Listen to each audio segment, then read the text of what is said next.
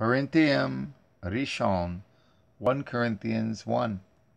Paul, called to be an apostle of Yahusha HaMashiach, through the will of Yahweh, and Sosthenes, our brother, unto the called out assembly of Yahweh, which is at Corinth, to them that are sanctified in Yahusha HaMashiach, called to be Kodashim, with all that in every place call upon the name of Yahusha HaMashiach, our Adonai, both theirs and ours. Grace be unto you, and peace, from Yahweh our Father, and from the Adonai Yahusha HaMashiach.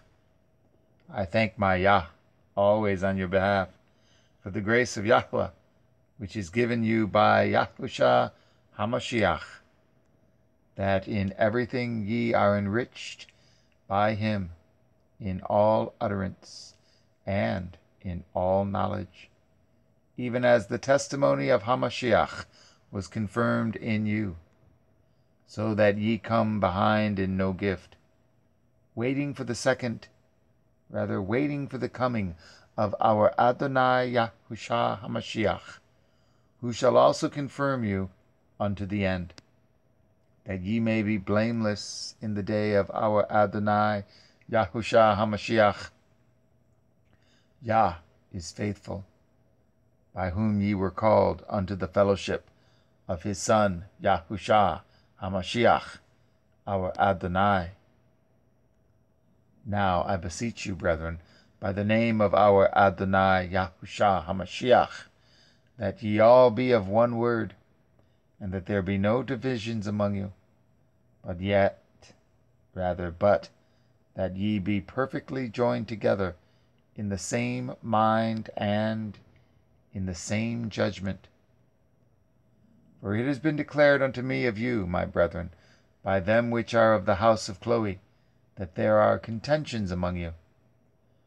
Now this I say, that every one of you says, I am of Paul, and I am of Apollos, and I am of Kepha, and I am of Mashiach. Is Hamashiach divided? Was Paal crucified for you? Or were ye immersed in the name of Paal? I thank Yah that I immersed none of you but Crispus and Gaius, lest any should say that I had immersed in my own name and I immersed also the household of Stephanus. Besides, I know not whether I immersed any other. For Hamashiach sent me not to immerse, but to preach the Besorah, not with wisdom of words, lest the pole of Hamashiach should be made of no effect. For the preaching of the pole is to them that perish foolishness, but unto us which are saved it is the power of Yah. For it is written, I will destroy the wisdom of the wise, and will bring to nothing the understanding of the prudent. Where is the wise? Where is the scribe? Where is the disputer of this world? Has not Yah made foolish the wisdom of this world? For after that, in the wisdom of Yah, the world by wisdom knew not Yahweh. It pleased Yah by the foolishness of preaching to save them that believe. For the Yahudim require a sign, and the Yavanim seek after wisdom. But we preach Hamashiach, crucified, unto the Yahudim a stumbling block, and unto the Yavanim foolishness but unto them which are called, both Yahudim and Yavanim, the Mashiach, rather, Mashiach, the power of Yah, and the wisdom of Yah. Because the foolishness, rather, foolishness of Yah is wiser than men, and the weakness of Yah is stronger than men. For ye see your calling, brethren, how that not many wise men after the flesh, not many mighty, not many noble are called.